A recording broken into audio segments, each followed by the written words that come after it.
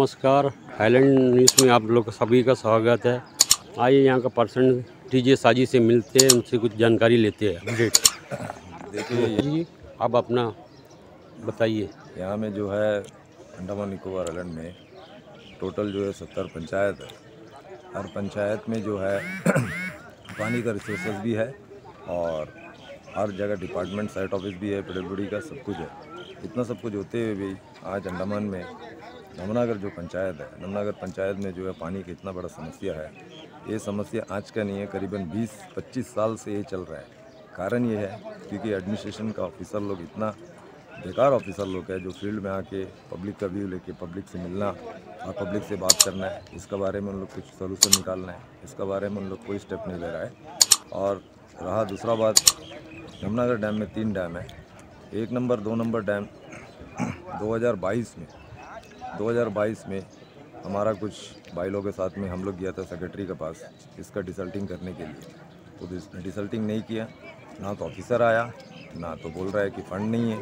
ये सब इन लोग अपना हिसाब से अपना पल्ला झाड़ रहा है। जबकि भारत सरकार, प्रधानमंत्री मोदी का द्वारा जल है तो जीवन है। बहुत बड़ा स्कीम जो है अंडमान निकोबार आइलैंड ने ऑल ओवर इंडिया के लिए दिया रहा है। मगर सरकार का तरफ़ से पैसा आ रहा है, मगर एडमिनिस्ट्रेशन की तरफ़ से यहाँ पैसा का यूटिलाइज़ नहीं कर रहा है, पैसा का मिसयूज़ हो रहा है, काम नहीं हो रहा है। हमेशा साल भर यही टेंडर हो गया है। सब, आज साफ़ हो रहा है, कल साफ़ हो रहा है। बीस, बाईस, पच्चीस साल हो गया करीबन ये चल रहा है। और हमारा जो नमनागर डैम का जो कंडीशन है, इसीलिए बदतर हो रहा है क्योंकि 20-22 साल से डिसल्टिंग नहीं हुआ है। और दिन का दिन जो प्लॉटिंग एरिया जो घर बढ़ रहा है तो इसका बारे में डिपार्टमेंट को ये चाहिए कि एक सर्वे करके पानी का समस्या का समाधान करना चाहिए और जैसा समर वेकेशन आ जाता है, वही टाइम इनका दिमाग खुलता है कि पानी का बारे में, पानी का समस्या है। चार दिन, पाँच दिन छः दिन, सात दिन देने का बारे में इन लोग पब्लिक को बताता है कि पानी नहीं है। पानी जबकि ऑलरेडी है डेंडोसमेंट एरिया में भी पानी का सोर्सेस है। हमारा घर का नीचे अब्दुल रऊफ़, उनका घर का नीचे इतना बड़ा कुआँ है, पानी का सोर्सेस है, वहाँ से भी पानी ले रहा है, मगर उसमें भी पानी को रुका रहा है। साथ ही साथ मीठा मीठागाड़ी में भी पानी का रिसोर्स है। वहाँ से भी ये पानी का जो है, समस्या का समाधान कर सकता है। पब्लिक को जो है, दिन में तीसरा दिन, हर दिन तीसरा दिन पानी देने का जो है circular PW department Andaman Nicobar में समर वेकेशन का जब पानी का क्राइसिस आया था ओटम बताया था। मगर आज वो पेपर में रह गया हकीकत में इसको इम्प्लीमेंट नहीं किया है। तो मेरा ये ये, भारत सरकार से और निवेदन है कि हमारा अंडमान निकोबार आइलैंड जो एडमिनिस्ट्रेशन के जो ऑफिसर्स हुए चीफ इंजीनियर है और आपका सी है, इन लोग के ऊपर में तुरंत कार्रवाई किया जाए ताकि इन लोग आके जो डैम है डैम का काम शुरू करे, क्योंकि टैंकर में पानी आज देगा, कल बारिश गिरेगा, फिर वही कहानी दोहराएगा बीस बाईस साल का कहानी दोहराते रहेगा। तो मेरा निवेदन है चीफ इंजीनियर साहब नमनागर डैम में आके वहाँ इंस्पेक्शन करें और तुरंत हम, हमें राइटिंग में दे कि कब से काम शुरू होएगा और साथ ही साथ जो सर्कुलर है पी डिपार्टमेंट का, हर तीसरा दिन पानी देने का, वो आपका ज़िम्मेदारी है तीसरा दिन पानी देने के लिए। आपको व्यवस्था करना चाहिए ताकि पब्लिक हरासमेंट नहीं होना चाहिए और पब्लिक जो प्राइवेट काम कर रहा है गवर्नमेंट सर्वेंट तो ठीक है, उनको तो महीना में पेमेंट मिल रहा है, साल और जो प्राइवेट वर्कर है, अपना काम दाम छोड़ के, ये चक्का जाम करने के लिए उनको कोई ज़रूरत नहीं है अगर प्रॉपर तरीक़े से पानी रहेगा तो। और पानी के पीछे सारा चीज़ सम, समस्या का जो है समाधान नहीं हो रहा है। और साथ ही साथ पब्लिक हरेसमेंट हो रहा है और भारत सरकार का स्कीम में जल है तो जीवन है। जबकि जल ही नहीं है तो जीवन कहाँ से रहेगा? तो ये तो मतलब अंडमान में एक क्राइसिस को जानबूझकर इम्प्लीमेंट कर रहा है। और बाद में हमारा जो नमनागर जो साइट है जो साइट में जो जई मैडम है बहुत अच्छा काम कर रही है। बहुत कॉपरेट कर। रही है हम लोग भी सोशल वर्कर हैं। हमारा एक भाई है, लोकेश भाई, और हमारा एक सोशल मीडिया है अच्छा ग्रुप है। हम लोग से भी अच्छा तालमेल है उनका। और करीबन 21 तारीख को हम लोग इसी तरह नमनागर में चक्का जाम किया था। उसका पहले पानी का जो है आठ दिन, सात दिन का बाद भी पानी का गारंटी नहीं था। उसके बाद मैडम ने भी फ़ील्ड में अच्छा काम किया और साथ ही साथ तीसरा दिन, चौथा दिन पानी पब्लिक को मिल रहा है। तो इसके लिए मैडम को मैं अप्रिशिएट करता हूँ। साथ ही साथ ये भी मैं कहना चाहता हूँ, हर साइट ऑफ़िस में अगर पब्लिक और गवर्नमेंट सर्वेंट जो जे ई ए एस सी अगर पब्लिक से कॉपरेट करेगा तो इसका समस्या का समाधान का निवारण हो सकता है। और सब में बड़ा निवारण ये है, इसका प्रॉब्लम सोल्यूशन एक ही चीज़ में हो सकता है। जब तक एक नंबर दो नंबर डैम का डिसल्टिंग करके उसको क्लीन नहीं करेगा तो ये समस्या दिन बर दिन, आने वाले दिन में इससे भी कस्ता हालत होएगा। और ये जो सोल्यूशन करने से ही होएगा, क्योंकि दिन का दिन जो घर बढ़ रहा है तो पानी तो सबके लिए ज़रूरत है। पानी एक ऐसा चीज़ है, सबको चाहिए। तो पानी का सोर्सेस को अगर बढ़ाया जाएगा तो टाइम टाइम में पानी दे सकता है। और हमारा एक निवेदन ये भी है एडमिनिस्ट्रेशन से, पानी का शेड्यूल होना चाहिए। ये रात को आठ बजे, नौ बजे, सात बजे, ये सब नहीं है पानी का हर एरिया में। जो पंचायत है, दो पंचायत हमारा नमनागर मेटागाड़ी जो है, दो पंचायत है, करीबन दस से बीस हज़ार जो पब्लिक यहाँ रह रहा है, जैसा वार्ड है नौ वार्ड है, सात वार्ड है पंचायत में। तो वार्ड वाइज टाइम टेबल होना चाहिए शेड्यूल होना चाहिए, ये वार्ड में इतना बजे से पानी खोलेगा, ताकि जो पब्लिक है, जो गवर्नमेंट सर्वेंट है प्राइवेट वर्कर है, जो उनको मालूम होएगा कि भैया इतना बजे पानी आएगा तो वो टाइम में उन लोग अपना घर का जो पानी वगैरह पकड़ के अपना जो समस्या का समाधान कर सकते हैं। ये नहीं कि रात को पानी खोल दिया पब्लिक सो गया, किसी को पानी मिला तो जब अच्छा पानी मिला, किसी को पानी नहीं मिला तो नहीं मिला। साथ ही साथ मेरा ये भी कहना है जैसा नमनागर से डेंडोसमेंट जो तीन किलोमीटर का एरिया है अभी लेफ़्ट साइड में तो पाइप डाला है। इससे पहले एक डेढ़ दो साल पहले जोगेश्वर लाल सर एक था जई नमनागर में। उन लोग भी उन, उन्होंने भी बताया कि एक ऐसा एक स्कीम है जो राइट साइड में भी जो रोड का राइट साइड में भी पाइपलाइन बिछाया जाएगा। तो मैंने भी ये बताया कि राइट साइड में ही पाइपलाइन बिछाने से रोड कटिंग नहीं होएगा जिससे मतलब रोड भी अच्छा रहेगा और पब्लिक के लिए भी सुविधा रहेगा पानी का समस्या भी नहीं रहेगा सबको बराबर पानी मिलेगा। तो जो रोड है नमनागर टू कंडसमेंट आज एक करोड़ पैंसठ लाख का रोड है। पाँच साल का मेंटेनेंस के लिए उसका जो है टेंडर है। तो अगर पाइपलाइन अगर उधर बिछाया जाएगा तो रोड भी कटिंग नहीं होएगा और साथ ही साथ पब्लिक को दोनों तरफ़ से जो पाइप रहेगा तो पानी भी मिलेगा और उनको समस्या भी नहीं रहेगा। अंत में मेरा कहना है कहना है मैं, अंत में मैं कहना चाहता हूँ कि आज पानी का समस्या का निवारण के लिए अंडमान निकोबार आइलैंड में जो नमनागर जो पंचायत है नंबर, दो नंबर डैम जो है, उसको तुरंत डिसल्टिंग करवाया जाए। ताकि आने वाला मानसून के अंदर में काम ख़त्म करिए जाए और टैंकर से जो पानी ला रहा है पब्लिक को तीसरा दिन पानी देना है साथ ही साथ इसका टाइम टेबल भी होना है और इसके ऊपर तुरंत कार्रवाई किया जाए। इतना ही क्या कर? धन्यवाद साजिद जी।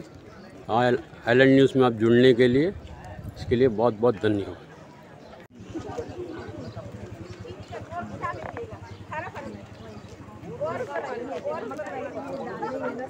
की इसके लिए भी तो पानी चाहिए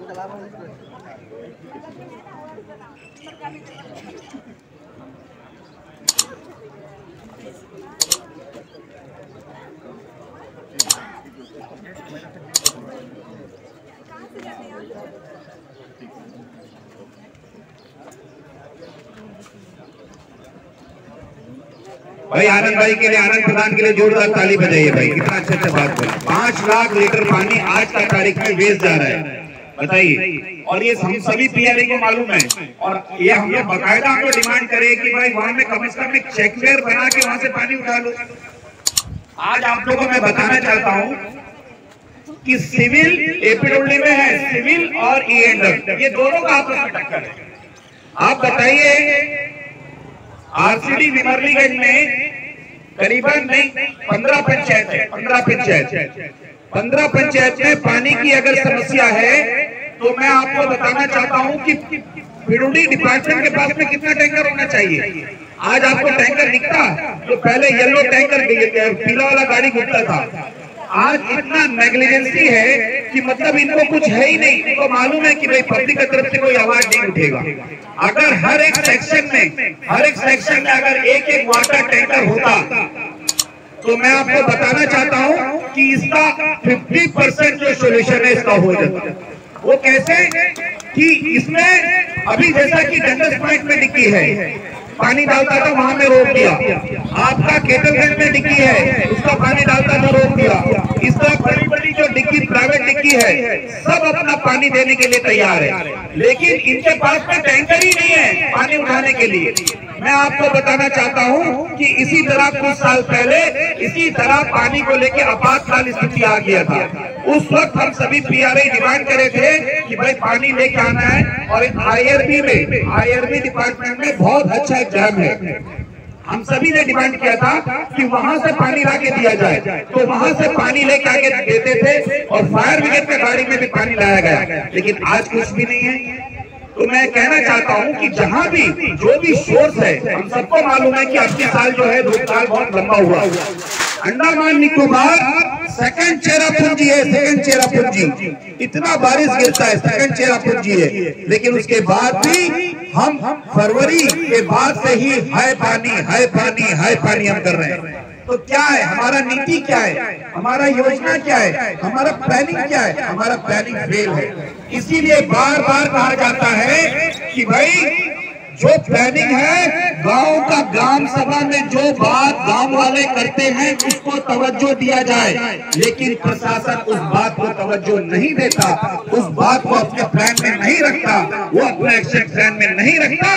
जिसका कारण आज ये है कि आज हमारी महिलाएँ, हमारे बुज़ुर्ग, हमारे युवा साथी आज रोड में खड़े किसी को पसंद नहीं है। इस तरह रोड में खड़े रहना।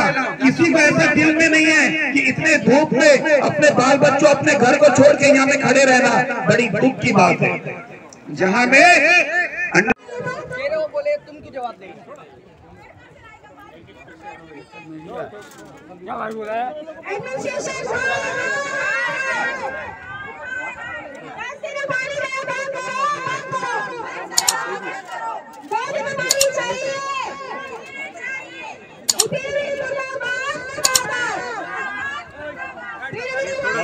मेडिकल पेशेंट मेडिकल कैसे मेडिकल कैसे सीरियस है मेडिकल कैसे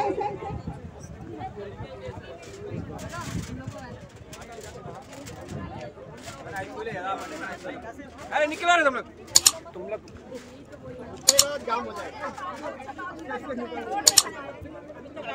अभी तक एडमिनिस्ट्रेशन यहाँ पे तीस घंटा होने वाला अभी तक कोई एडमिनिस्ट्रेशन यहाँ पे नहीं पहुँचा बताइए अभी तक एडमिनिस्ट्रेशन यहाँ पे नहीं पहुँचा छोटे बच्चों को लेकर बैठे हैं लोग। यहाँ जमाना आ गया। काफ़ी सारा ये तो हुआ। अच्छा नींद सबको क्या रहे हैं नींद हमें क्या रही है रात को ग्यारह बजे दस बजे बारह बजे पानी आता है इस्लामी सेंटर में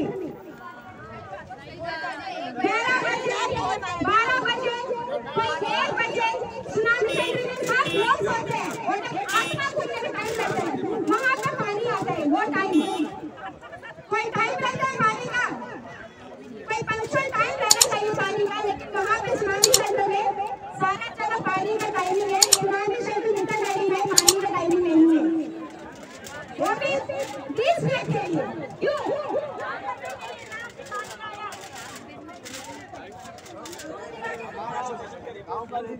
छह दिन में एक दिन पानी आता है पंद्रह मिनट खास करके बीस मिनट पानी वो भी पानी में स्पीड देखिए ये फिंगर की तरह छोटे हड्डियों की तरह पानी आते हैं लोग क्या पिएँगे क्या नहाएँगे क्या खाना बनाएँगे क्या सब्ज़ियाँ बनाएँगे उसमें बताइए पानी पी के सब जुड़ा रहना बस यहाँ पे चक्कर आके गिरने से बस हॉस्पिटल भागो ये सब जो एंबुलेंस जा रहे हैं ना वो सिर्फ़ पानी का प्रॉब्लम है जो हमारे ग्राम पंचायत के जो प्रधान है वो जो बोला है सुबह ये जो एंबुलेंस जो जा रहे हैं डिहाइड्रेशन हो गया था उनको क्यों पानी के पीछे इतना गर्मी है यहाँ पे लोग फ़ोटो दूर में खड़े हैं क्यों पानी की समस्या के लिए लेकिन वो समस्या सुनने के लिए मेन यहाँ पे नहीं है बताइए जे भेजेगा कि कहाँ भेजेगा देख लीजिए लीजिए खा लेंगे कि पी लेंगे देख लेंगे एडमिनिस्ट्रेशन जो है होश में आने के लिए बोलिए कोई भी चीज़ सबसे पहले?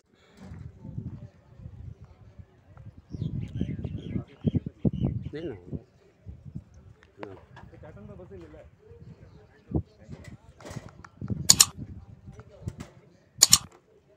ना गाड़ी को मारे जाएँगे कुछ नहीं होएगा बोलते चलो रे कल आएगा क्या करने जिधर पड़ा उधर क्या करेगा कल आएगा जाओ चलो ना नहीं नहीं के चलो रे हाँ क्या करेगा मैनेजर को फ़ोन कर दो फ़ोन करो आज नहीं होएगा बारह बजे तक रहेगा बोलते इधर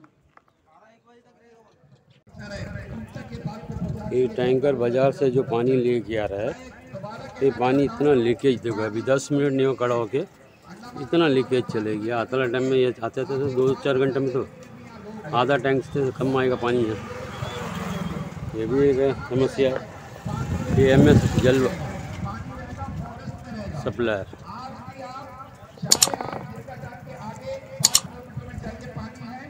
चाहे आप जोड़ में चाहे पानी है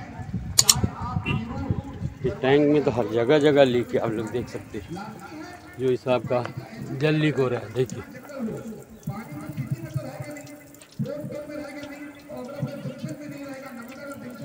देखिए टैंकर में कितना लीक है जो 10 मिनट के अंदर कहीं कहीं सौ लीटर पानी गिर गया है। ये जगह देखिए, कितना लीक है, कितना पाइप फोर्स में जा रहा है।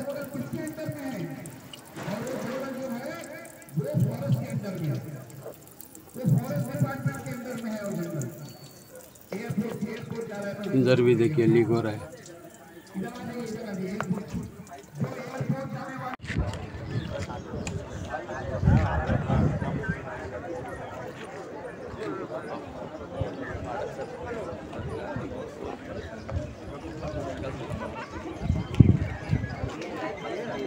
यहाँ देख सकते किस तरह से यहाँ में चक्का जाम किया गया है। आप लाइव देखिए बोलो। नहीं नहीं घर में जंक्शन में भाई।